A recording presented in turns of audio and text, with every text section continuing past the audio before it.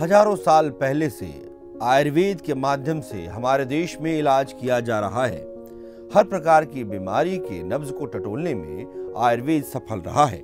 दरभंगा के सरकारी आयुर्वेदिक कॉलेज जीएससीडी अस्पताल में डॉक्टरों ने नब्ज और जाँच रिपोर्ट के बजाय मरीज़ की कुंडली देखकर इलाज शुरू किया है। इसके लिए चिकित्सा ज्योतिष का विशेष बाह्य रोगी विभाग ओपीडी खोला गया इस तरीके से इलाज करने वाला देश का ये पहला अस्पताल है। चिकित्सा ज्योतिष प्राचीन शाखा है, जो शरीर के विभिन्न अंगों, रोगों, औषधियों के सूर्य चंद्रमा और ग्रहों से तथा बारह राशियों के प्रकृति से संबंध पर आधारित है। जड़ी बूटियों और अन्य दवाओं को उनके ज्योतिषीय गुणों के आधार पर उपचार के लिए चुना जाता है। इस पद्धति में बीमार लोगों की कुंडली या हस्तरेखा की मदद से उपचार की सलाह दी जाती है।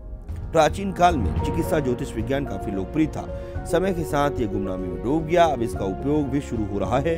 आयुर्वेद के आवश्यक घटक दिनचर्या, ऋतुचर्या और पंचक्रम के सिद्धांत पर चिकित्सा ज्योतिष पर आधारित है। ये देश का पहला अस्पताल है, जिसने आयुर्वेद, योग और प्राकृतिक चिकित्सा के साथ चिकित्सा ज्योतिष की शुरुआत की है। इसमें मेडिकल ज्योतिष में पूर्ण पाठ्यक्रम शुरू करने का प्रस्ताव आर्यभट्ट नॉलेज यूनिवर्सिटी को मंजूरी के लिए भेजा गया है। चिकित्सा ज्योतिष ओपीडी के उद्घाटन के दौरान राशियों पर आधारित औषधि पौधों का उद्यान भी खोला गया। तो इस तरीके जो हमारी पुरातन जो पद्धति है, उसको नए तरीके से लाने का प्रयास हुआ है।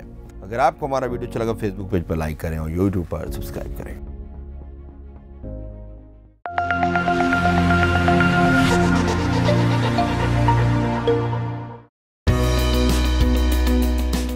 जो कहीं नहीं, वो यहाँ है।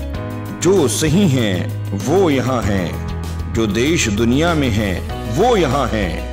एक स्पष्ट सोच यहाँ है। हर परिवर्तन की खबर यहाँ है। हर लोगों की बुलंद आवाज़ यहाँ है। राजनीति, खेल, फ़िल्म, उद्योग, विज्ञान की हर बात यहाँ है। हर अधिकारों की बात यहाँ है। अन्याय के खिलाफ संघर्ष यहाँ है। हर कर्तव्यों की बात यहाँ है।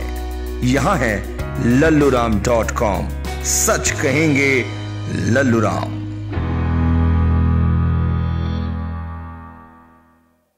आपके राज्य में खबरों की एक नई परिभाषा गढ़ता, आपके हर कदम हर डगर पर साथ चलता, आपके राज्य की हर खबर से रूबरू कराता। खबरों का एक विश्वसनीय नाम, लल्लूराम डॉट कॉम छत्तीसगढ़ मध्य प्रदेश उत्तर प्रदेश उत्तराखंड, बिहार, दिल्ली। पंजाब की खबर जानने के लिए पढ़ते रहिए लल्लूराम डॉट कॉम